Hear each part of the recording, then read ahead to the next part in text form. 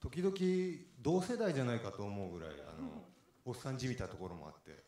はいオフィシャルさんもお願いします。はい、えー、皆さんこんにちは。寺田心です、えー、お足元の悪い中来ていただき今日はよろありがとうございます。いつも僕を応援してくださる皆さんが来てくださっていて久しぶりにお顔を見ることができてとても嬉しいです。よろしくお願いいたします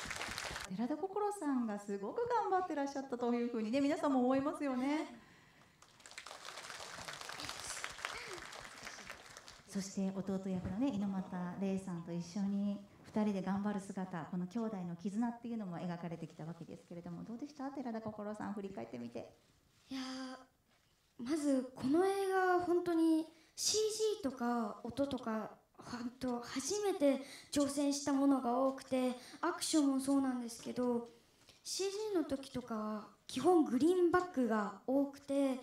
アクションとかもなんか縦の方が来てくださって教えてくださったりしてすごく楽しかったし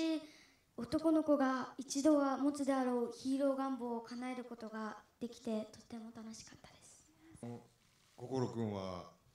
はつらつとしてとても子供らしいとこもあれば時々同世代じゃないかと思うぐらいあのおっさんじみたところもあってその二面性がとても素敵でしたね。例えばどんなところがその同世代だと感じられる何かエピソードございますか？うーんあの言うことが若干僕より先輩ぐらいの感じのことをよく言ってましたね、覚えてますか？寺田心さんいやーもうまさか僕がそんななんかもうななんて言ったらいいかわかんないですけどお褒めいただきありがとうございます。ということうん、褒めた褒めた、ありがとうございます。恐縮でございます、ね、大島さんいかがでしたか？そうですね。多分年代がその大倉さんと同じぐらいって感じたエピソードとしてはあの食事にすごい気をつけてたんですよ心くんが。スムージー飲んだりだとか 体に気をつける食事をとってたので多分そう感じたのもあったしでもやっぱりそこはあの体調崩したらね撮影も大変なのでさすが主演たるものこうでなくちゃというふうにあの私も勉強になりました。す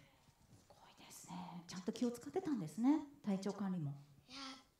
やなんというか不思議な食べ物がただ単に好きだったかもしれないです。なんか最近だとそのセあ違うセロンティじゃないな。なんかセロンティーかな。なんか違うな。なんか青色のお茶を飲んだりしてなんか名前をど忘れしてしまったんですけどそこにレモンとかを入れると紫色になったりする。あ思い出したバタフライピーだ。バタフライピーを飲んだりしたりなんかちょっといろいろ不思議なものを好むようになってきました。そうなんですね。知らなかったです。バタフライティー。